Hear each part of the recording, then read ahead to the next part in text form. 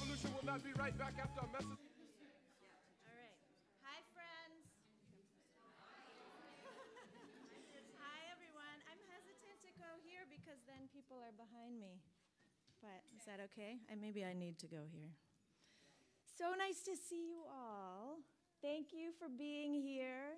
I know almost everyone, but not all of you. My name is Lizzie Cooper Davis. I'm an associate professor here, director of the graduate programs in performing arts and theater education and applied theater.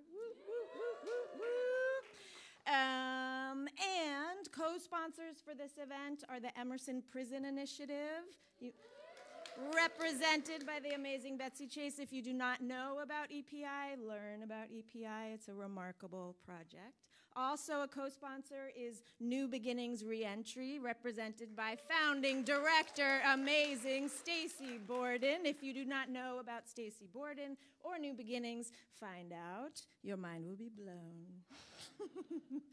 Um, we also have the support of the wonderful HowlRound Theater Commons, also based here at Emerson, the global online hub for disruptive ideas in the theater. Represented by Vijay Mathew, who is running the live stream of this event on HowlRound. So it will be archived on their site forever and ever and ever. And to be very, very clear, Oh, sorry. And Jamie as well, also obviously representing HowlRound. Sorry.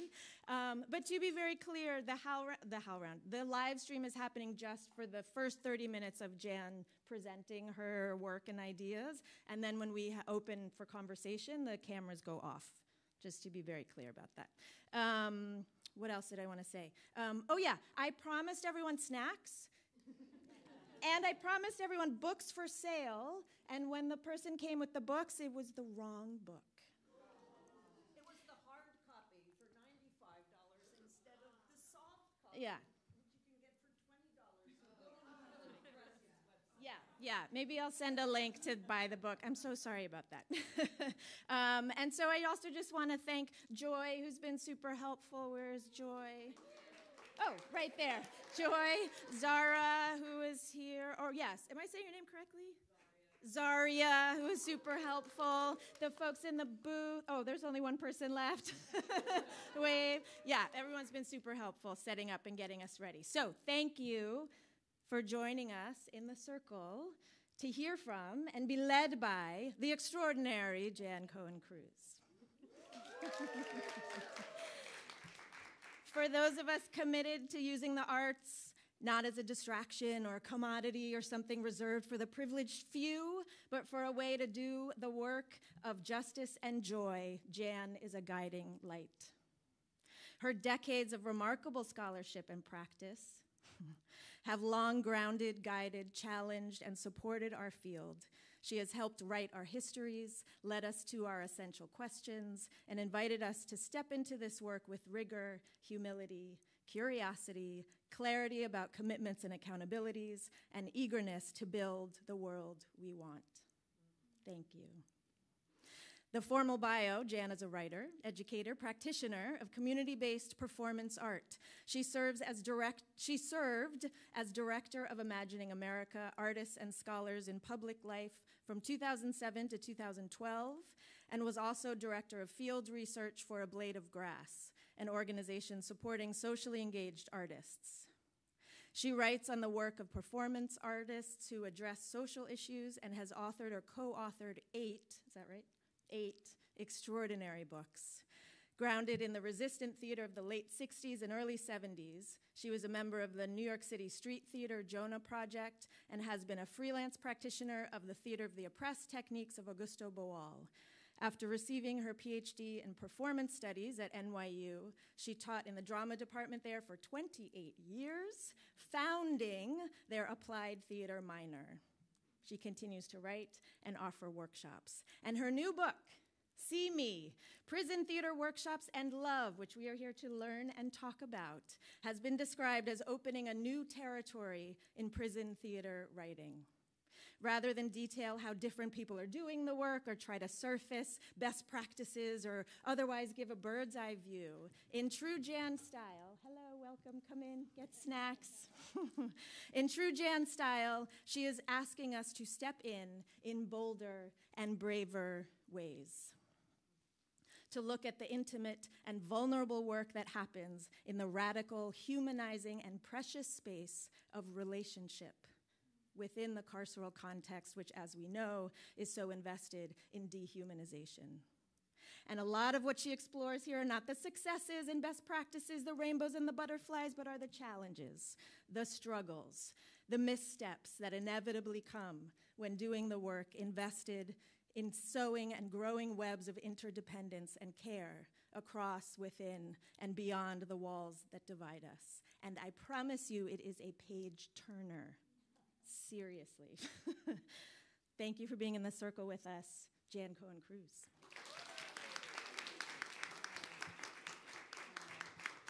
Well, thank you all for being here. Thank you, Lizzie, for that remarkable introduction. And thanks to all the people who are co hosting and co sponsoring this. I won't repeat their names, you heard them, and I, I really appreciate it.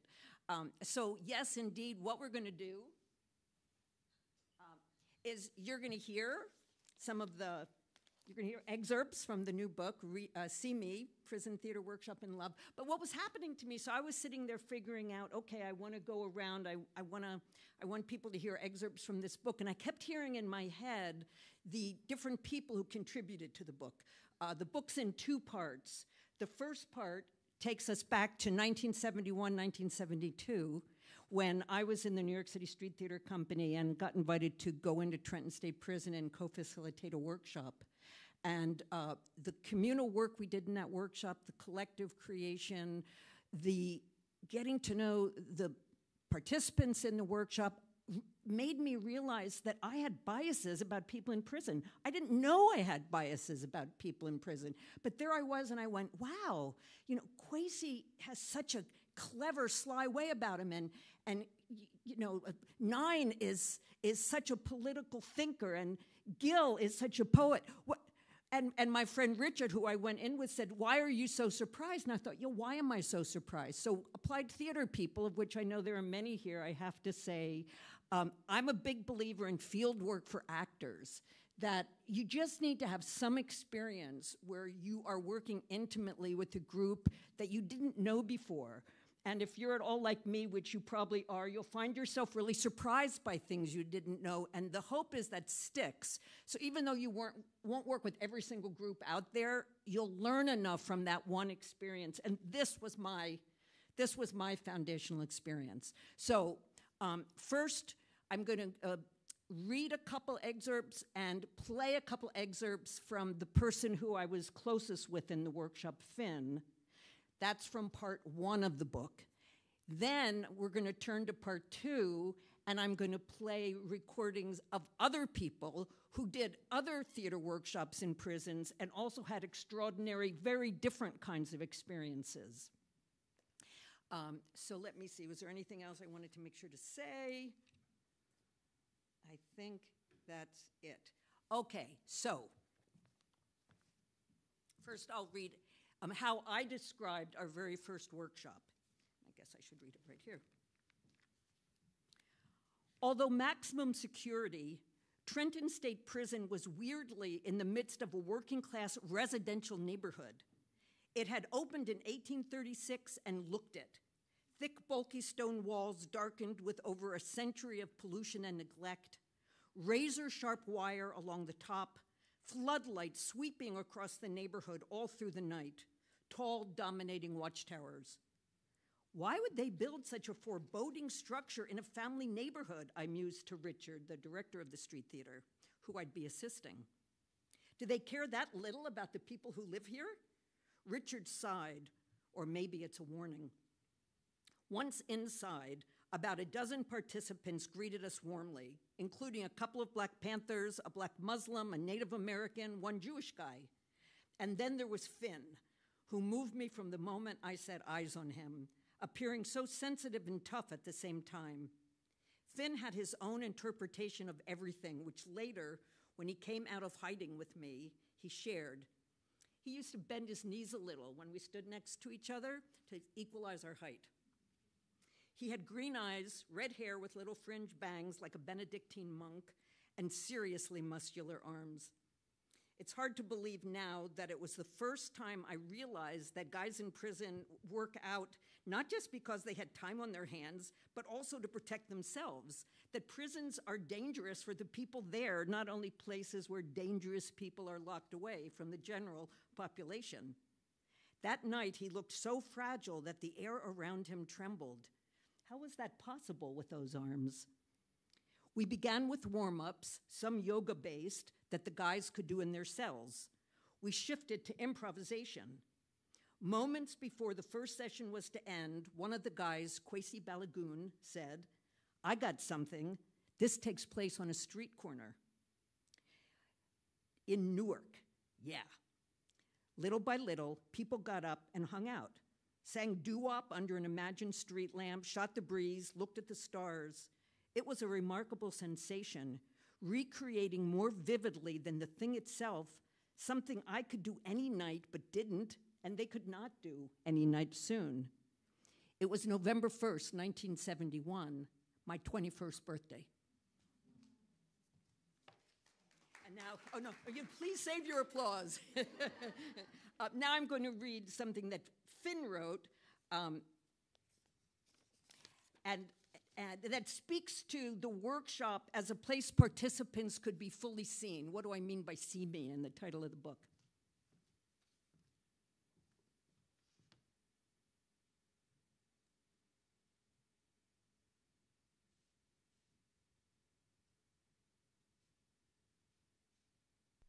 After the success of the first show with skits and poetry readings, Richard announced, We did great and we are now ready to move on to a major production, exploring one thing all of us here share a radical sense of justice.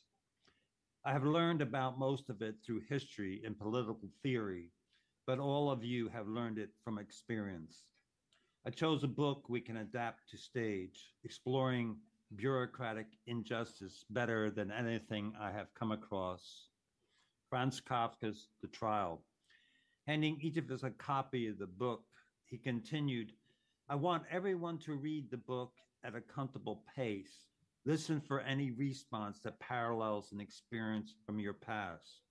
Then, when we get together, we can start improvising with those scenes to construct a narrative reflecting how the oppression of prison life connects to Kafka's story, which is evidence of its universality when we prisoners started to leave, Richard called to me, Finn, I was thinking about the best way to integrate personal experience with the scenes in the novel in the structuring of the play. I've read your writing and think you could help with that.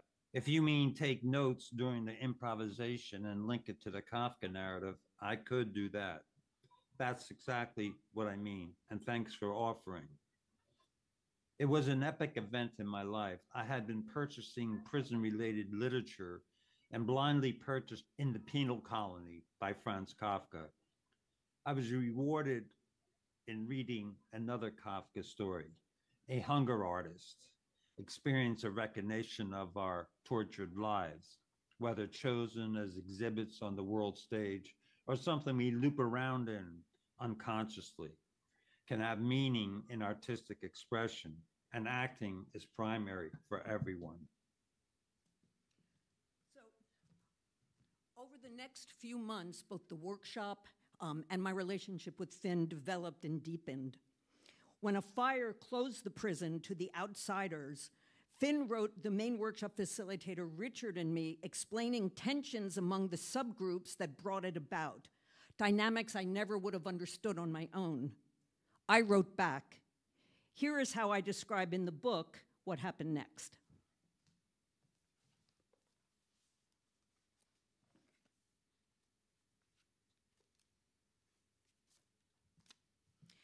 And so began a deluge of letters. We wrote to each other about books, movies, politics, and philosophy. We wrote how we felt moment by moment. He never trivialized the relative ease of my childhood in relationship to the harshness of his own. We wrote about our everyday lives. We shared our takes on the workshop and the participants, we fell in love. We wrote outpourings of our love to each other.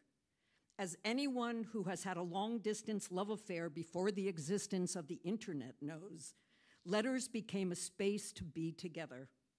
I focused on him, and my consciousness curled into a place inside me for just the two of us. Every thought I wrote him went towards making two chairs alongside each other, a room where we could sit, a little house where we could live. Time slowed down. So careful were we both to find fitting words to carry our feelings and thoughts to the other. I hadn't known how to take time in a romance before, but now time was what we had. Holding the paper he had written on was touching him. After a few weeks, the prison reopened to outsiders and the drama workshop resumed. Now I'm going to play another clip of Finn reading about a particular moment between us.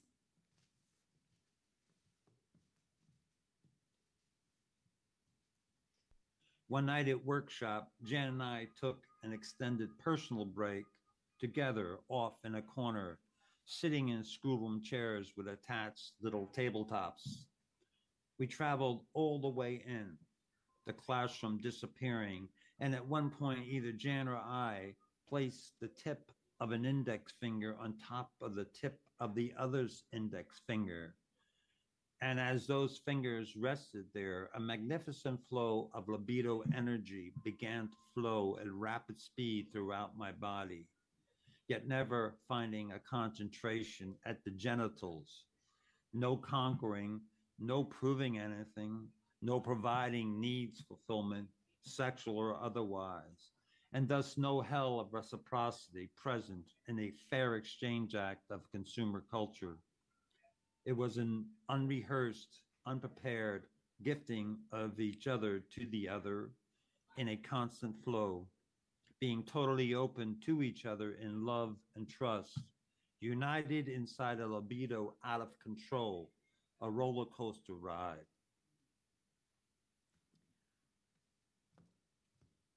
Uh, so we learned a lot about the different ways that love gets expressed. I mean, it was the workshop, it was the letters, we had simultaneous dreams. Um, if you want to know more about that story, you'll have to get the book because now I want to. I I want to. What what what we wanted was to say, there are prison theater workshops going on all over the world, right? And let's look at ways, let's look at some of these other prison theater workshops. Let's have other conversations between two or three people who went through an experience together to hear more about it. So that's what part two is. Part two is five chapters that are exactly that. And this first one in part two is you're going to hear three people. Um, they were all part of the drama club at the Louisiana Women's Correctional Institution. And the three voices the first one is Mama Glo, Mama Glo Williams, who, while not a facilitator, was a real leader in that workshop. And she was incarcerated 51 years, uh, longer than any other woman in Louisiana. And by the fact that she was known as Mama Glo, and there's someone here who actually has also met her, um, you get a sense of what, how she used that time and the kind of person she was. Uh, then you're going to hear in the conversation from Ausettua, um, AmorAmencum, who was one of the co-facilitators, co-facilitators who really brought a kind of African philosophical consciousness to the group, and then from Kathy Randels, who started the club.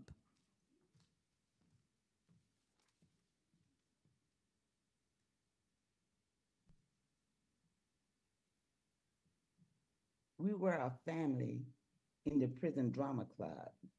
It was a healing place. I protected the club with my life. If I spill my guts about the ugly things that happened in my life, like the man in the yellow house, and if you chose somebody, they'd say, Mama Glo gonna get you. What went on in the drama club stayed in the club. You could be your real self there. We were sacrificial lambs putting our pain out to try to release them from their pain that they were going through. But before you walked out the door, you took out the phony mask for the compound and put it back on.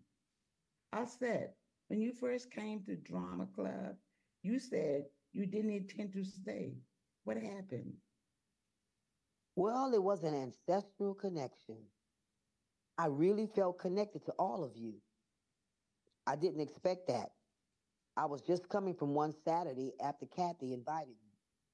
It was a pure example of how love just spontaneously sprouts, especially after going to the prison training where everything was told don't touch them, don't this, don't that. I got to the drama club and there were all these black women, some of them my daughter's age, some of them my mother's age. It was pure love. You see, I'd been to Angola, the men's prison, before with Kumbuka African Drum and Dance Collective. And by giving our time to the inmates at Angola, we were manifesting the concept of Ubuntu. I am because you are. We understood that our destiny was tied to their destiny. The African concept of life extends beyond the present. It includes those of us who are living now, those of us who lived in transition, the ancestors, and those souls waiting to be born. In African culture, the community is where all three of these existences are actualized and observed. The individual is born into the community, and even after death, will always be a part of the community, just as our incarcerated family members are. Well, Kathy, we brought you to the drama club? being dumped by my first lover after two weeks. Mm.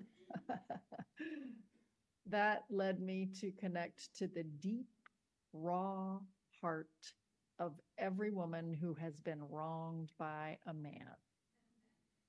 And it led me to want to talk to the women who killed the men who wronged them, wondering if murder appeased the rage inside. All of that culminated in a solo performance called Rage Within Without. My first contact with women who had killed was in 1994 through the Illinois Clemency Project for Battered Women. One of them, who I told I was going back home to New Orleans, said, Well, keep working with the women in prison down there. Now, when people ask me why I've stayed in the drama club, I say, Nobody told me I couldn't. I was curious. All the doors opened to let me in.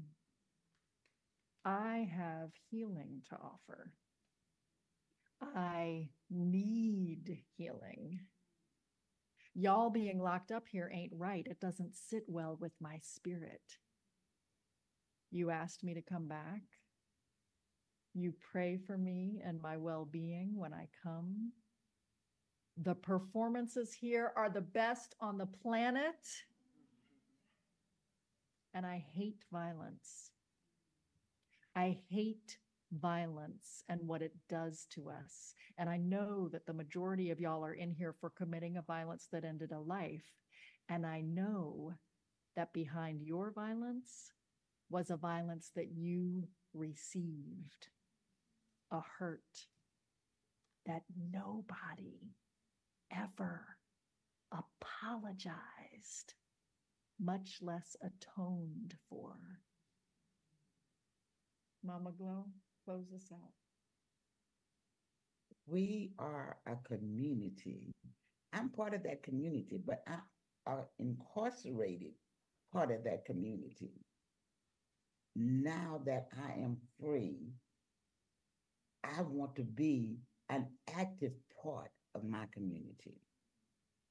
I want to help change some of the things that's in the justice system that is so cruel and unfair. Join me in the fight. Thank all of you that helped free me.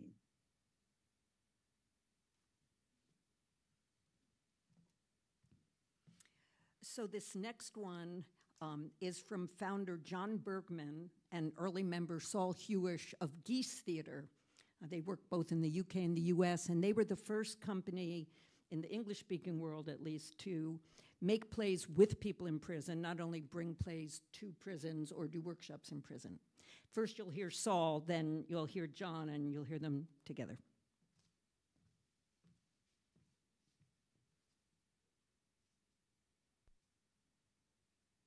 One of my defining prison experiences was the first time that I worked with life sentence prisoners. I'd been asked to make a show with them, and I was a bit terrified by the notion, not because I thought they were going to hurt me, but rather it was what do I do with them? I was in my late 20s, a skinny white kid with long hair, and I'm thinking, what the fuck do I know about being a lifer? Nothing. So I used the show to find out. The men were extremely generous in sharing their experiences, and the show had some great moments. I remember at the end, a participant came up to me and said, That's the best week I've had in prison ever. My initial response was feeling overwhelmed by the weight of the comment, followed by a concern that I didn't really know how to respond. In the end, I was just honest with him and said, This is one of the best weeks that I've ever had as well. Those shared experiences and their shared life experiences inside this theatre process are so compelling. You know, we're not the same as artists who go off and make something commercial. We work for the good of the people we interact with. What the fuck does it say about us that we're more interested in the experience of working in a room in the back of shit with a bunch of guys to make something than we are in wanting to be famous actors or wanting to be on television? There's a fundamental thing for me that doing drama and theatre in prison is so core to my identity and my sense of myself that if it wasn't there, I wouldn't really know who I was. Maybe that's because I came to this work when I was barely 21, and from 1987 till stopping work with you in the States in 96, I didn't talk about anything other than prison, prisoners, and theatre. It was certainly formative of my professional identity, but it goes deeper than that. I had a friend, you know her, who called this work throwaway theater. Really put it down. She hated it. Yeah, but the thing is, it's not throwaway theatre. Or you could say all theatre is throwaway. It's temporal. I mean, it's fucking there and then it's gone, right? But actually, we know that it wasn't throwaway because it was real. Even when the stories were invented, it was all about the men and their struggle right there to get it right, show their kids, show the officers. It was about them trying something new, and we helped them get there. You know, one of my memories is of a Texas prison 500 guys and an evening performance. An inmate group singing Motown songs. They sang those before the performance started. They were dressed in these fancy waistcoats and they could really harmonize. As we got to the end of the show, which was really dark, I went over to the group and said, Could you sing out the end of the show? It's just downbeat. I leave it up to you. And they watched. And they came in at the last moments in the show and they sang this beautiful song Silence, 8 p.m. in a prison in Texas. 500 men and us, holding on to the beauty that had just happened for as long as anyone could. Perhaps even some hope, if just for a moment. And the feeling of the translucency of all the arts and all our places in that light. That stayed with me for always.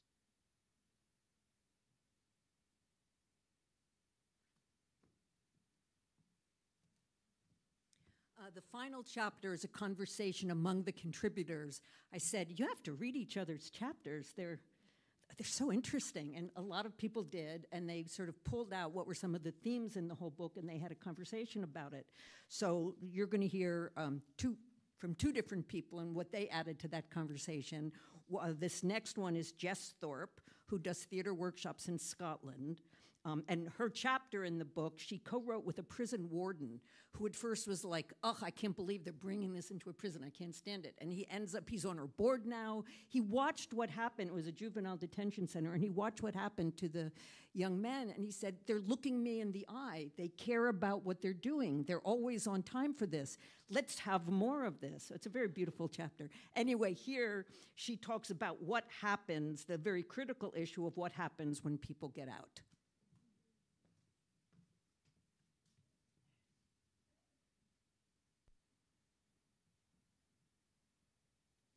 A benefit of living in a small country is that we only have 15 prisons. I work in six or seven of them regularly, so I see the same people and can track their progress. It's my dream to have a cultural programme in all of them. And I don't think it's so far away. We are already talking about it. It's exactly what other contributors to the book are saying. Most important is creating opportunities when people come out of prison. And I stay in touch with people that I meet in prison. I'm doing a podcast with one of them who's out now. And I recently went to a church with a woman who'd just been released because she felt that they weren't listening to her. So I was there just to be an advocate for her because we have a relationship. It started in the prison, but it can extend to the outside. We constantly try to map the prison's geography within Scotland to find opportunities for people back in their communities. We run a youth theatre in a prison and recently invited youth theatres from the areas where those young people live to offer them places in their companies when they get out. I worked in a theatre in Dundee and getting people out there to work with us too. I want to create inroads into Scottish society and get away from the othering we do to people in prisons. Only doing theatre programmes in prison isn't going to change anything. It can just seem like prisoners have more opportunities than the rest of the community, and it doesn't respond to the bigger picture. There's got to be a what next when people leave. I give them my email and I say, come and have a coffee and let's just see what you can get involved with. So this last, this last excerpt is by Alexander Anderson, um, who co-wrote a chapter with Kevin Bott. Um, Alex participated in when he was incarcerated, and now he's out and he co-directs Kevin's performance-based collective process for returning citizens to remove the stigma and shame of incarceration upon the completion of their sentences. So they're free inside as well as outside. So Alex closes the book, and he's closing this, these little excerpts um, with the book's foregrounding of love.